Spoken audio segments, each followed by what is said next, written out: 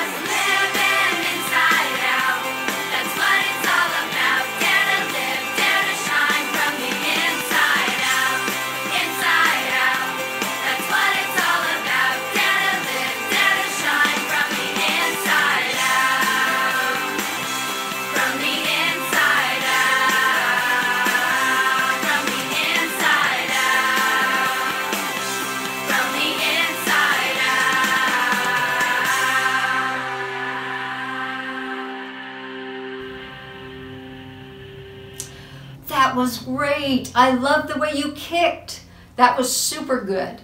Now we're going to sing a song about what it means to help us think like Jesus, the same attitude. Let's sing.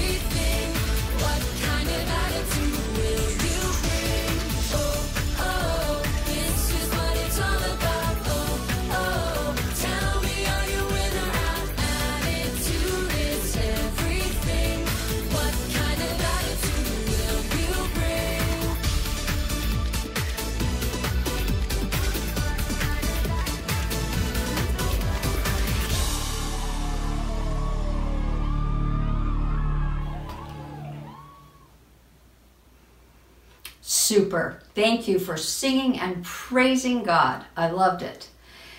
What does what do I mean by extreme makeover? Thinking like Jesus. What do you think extreme means? Well, we've tried what it would be like to be happy. Okay? So if I'm just mildly happy, maybe this would be my face.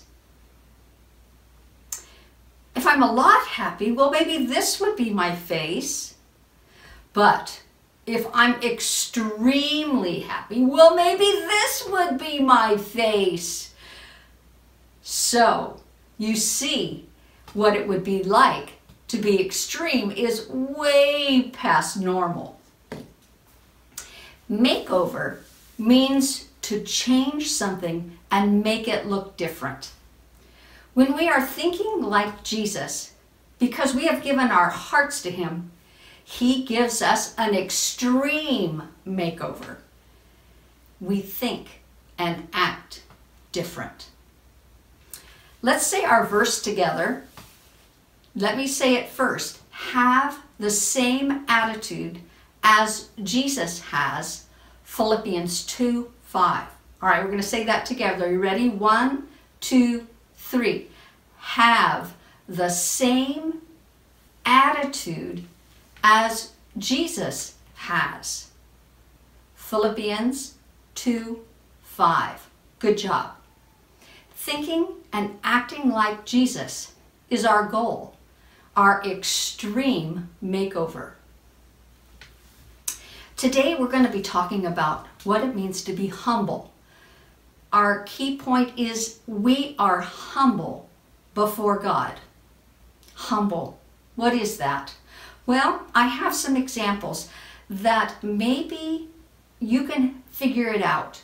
So they're going to be two different kinds of acting. One that is a humble way to act and one that is not humble. So I want you to decide are they being humble or are they not being humble? Let's watch. Oh, three times! I got you! You know, I really like to play checkers. And sometimes I don't win. But that's okay because I love to play checkers. I love to grow flowers. I grow flowers all over my yard, but you know what? I think I am the best flower grower ever. Don't you think? Look at my beautiful flowers. I am awesome.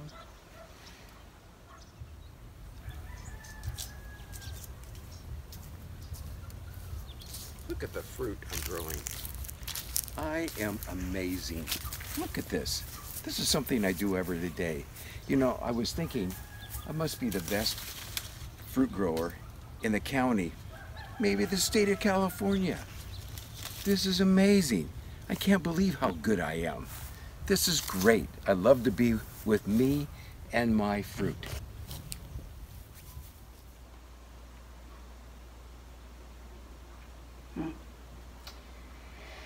You know, I really like to draw, and I love to paint too. But, you know, it doesn't always turn out exactly like I'd like it to. But I have a good time doing it anyway. Well, were you able to tell who was being humble and who was not being humble? Well, let's think about when we pray. You know that praying is just talking to God. So, how do you pray? Do you do it like this? God, I have been so good. I really, really, really, really want that bike. Or do you say, God, I am so sorry I said that bad word. Please help me to stop before I say it again. You know, to help us understand about being humble and what it means to be humble, there's a story in the Bible that Jesus told. and he told this story to help us. There were some people who thought that they were very good and looked down on everyone else. Jesus used this story to teach them. One day, there was a Pharisee and a tax collector. Both went to the church to pray. Now, the Pharisee stood alone, away from the tax collector. When the Pharisee prayed, he said, God, I thank you that I am not as bad as other people. I am not like men who steal and cheat and have bad habits. I thank you that I am better than this tax collector. I give up eating twice a week and I give one tenth of everything I earn. The tax collector stood at a distance. When he prayed, he would not even look up to heaven. He beat his chest because he was so sad. He said, God, have mercy on me. I am a sinner. Jesus said, I tell you, when this man went home, he was right with God. But the Pharisee was not right with God. Everyone who makes himself great will be made humble. But everyone who makes himself humble will be made great.